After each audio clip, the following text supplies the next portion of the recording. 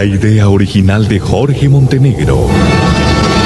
Cuentos y leyendas de Honduras.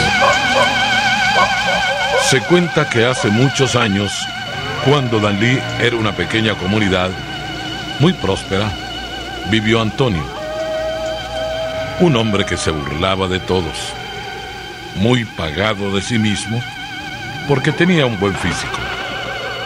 Pero las mujeres que lo conocían, aunque reconocían que era un hombre guapo, no se hacían ilusiones con él. Mira, Emilio. Mira, viejo. Qué bonita esa muchacha, mira. Pero mírale las patas y parecen varillas de construcción. Uy, hombre. Ni quiera Dios. Pero está bonita, bo. La cara la pega, pero con esas canillas, quién sabe, papá. Tenés razón, Toño. Aquí hay unas muchachas, unas mujeres bonitas que al ver las pantorrillas mejor salís corriendo. ¿Te acordás de la Candelaria, la de la pulpería? Sí, hombre. Qué linda esa jodida. Pero todo el tiempo andaba con faldas largas. Pero una vez que fue a la iglesia se puso una falda corta. Y ahí le vimos las patas de cerequeque que tenía, ¿te acordás? Ya estás aprendiendo de tu maestro, ¿verdad, bandido? Andando con vos, a uno se le pegan tus babosadas, pues. Sí. Ajá, ¿y, y la Rosa? ¿En qué quedaste con ella? Eh, ¿Te le declaraste? Al revés, papá, al revés. Ella se me declaró, mira. ¿ah? Dijo que, que yo había nacido para ella. Ahí estamos. A ver. Creo que es la única en este pueblo que tiene bonitas piernas, fíjate. Unas pantorrillotas bien hechitas. Y lo demás está bien bueno, fíjate. Es guapísima. Sí, sí, es bonita Sí, la condenada. Sí, qué suerte la tuya. Eh, Pero ahí tienes que andar con cuidado.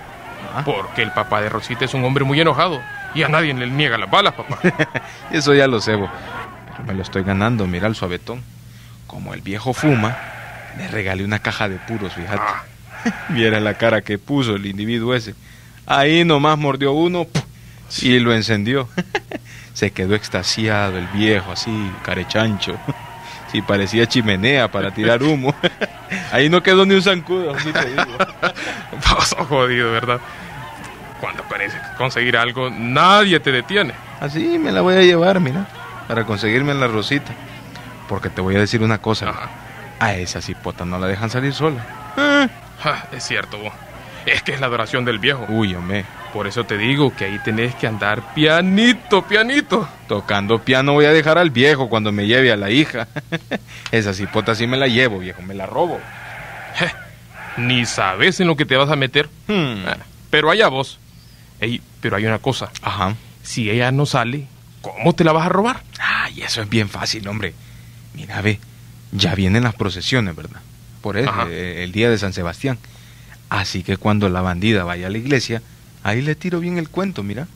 Y la convenzo de, de- de que sea parte de la procesión y ahí nomás me la llevo. Ah, Allá en Jacaliapa tengo un amigo que me presta su casa, hombre. hombre. Por lo menos, mira, que me quede un mes con ella por allá y ya estuvo, pues. ¿Qué te parece? Te mata ese viejo, te mata. Donde quiere que te encuentre, te va a matar, vas a ver. No me hace nada ese viejo bigote de bagri, hombre. Además, eh, ya me voy a conseguir un tizón para no andar desarmado. Ahora hay que andar chiva, viejo. Pénsalo bien. Antes de que te vaya a suceder algo malo, viejo. Pénsalo bien. No te preocupes. hombre.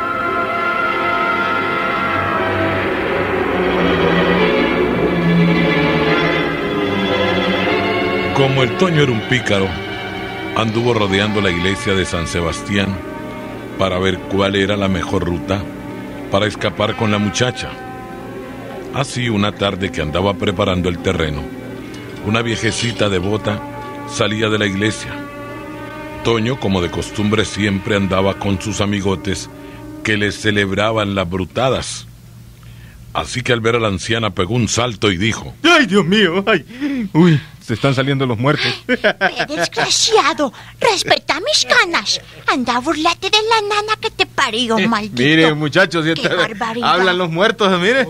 Muerta será tu madre. Ay, qué barbaridad, ya no respeta.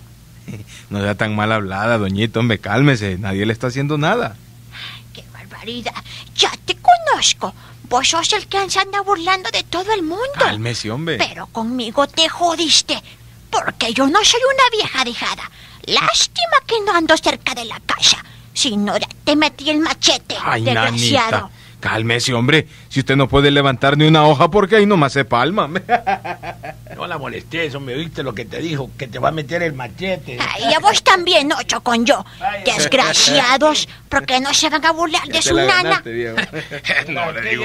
Sí, viene saliendo de la iglesia y se pone a insultarnos. Le va a dar un La La va a castigar Dios. Sí, la va a castigar Dios. Sí, hombre, le va a fregar Sí, a usted, viejita. ya está igual que esa gente que solo viene a la iglesia para que la miren.